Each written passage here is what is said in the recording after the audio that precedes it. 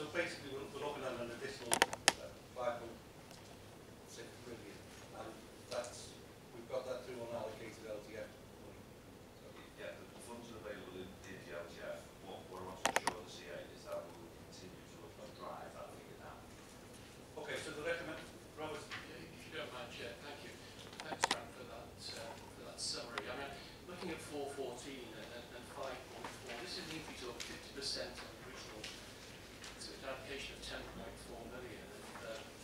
ladies'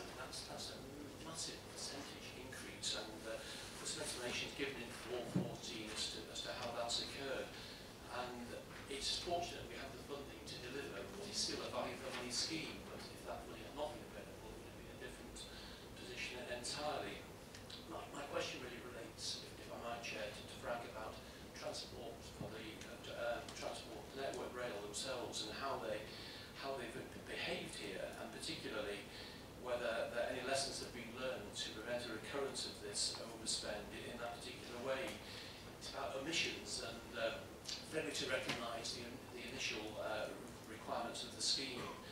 I, I would hope that this is uh, very much a, an isolated uh, occurrence and this is not something embedded in the way they proceed. But have they reacted in a way which uh, recognises deficiencies, defaults or errors of judgment? Or, these are huge variations which I think uh, should be explained uh, quite clearly by them.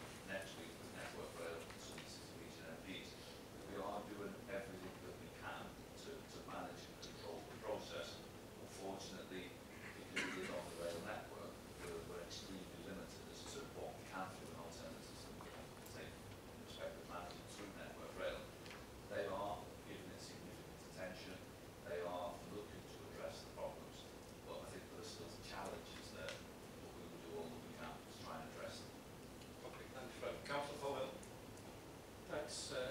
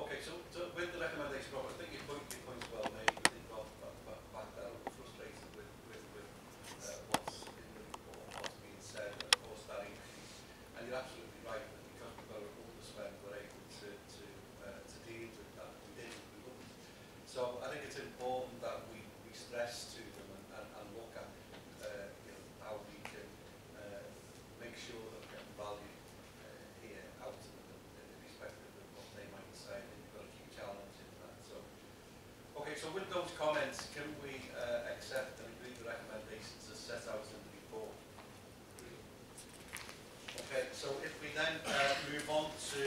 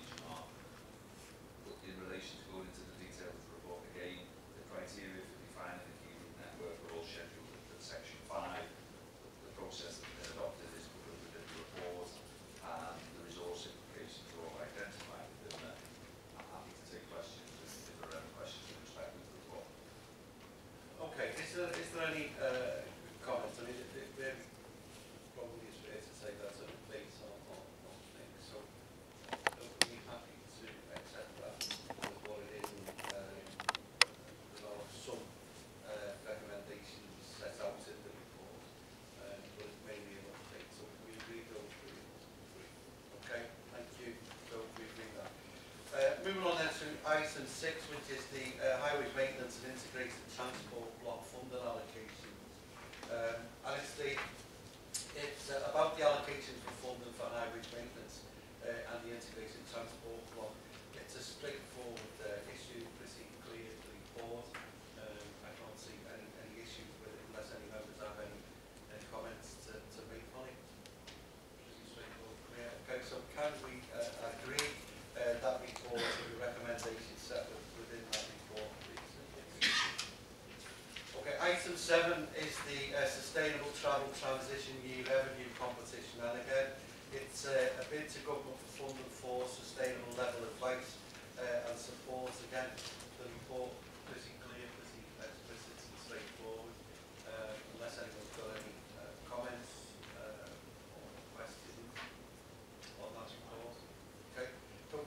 agree item 7 there has set out the recommendations within that report. Okay, item 8 is Rail North, and it looks at uh, our partnership with them. Um, and Frank, do you want to take us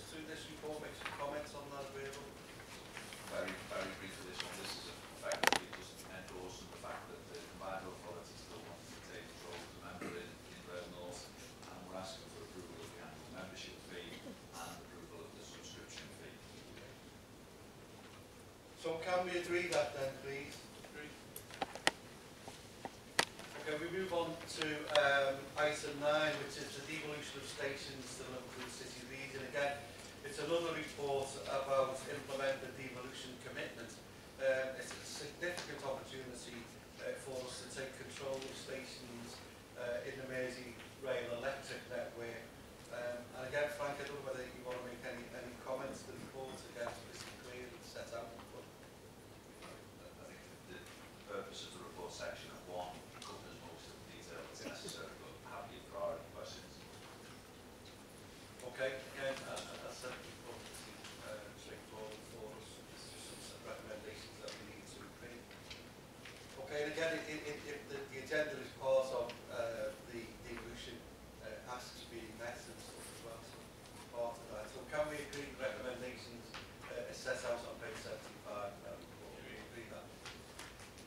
item 10 then is the Living and Improved Bus Offer and it's um, looking at how buses uh, and the performance strategy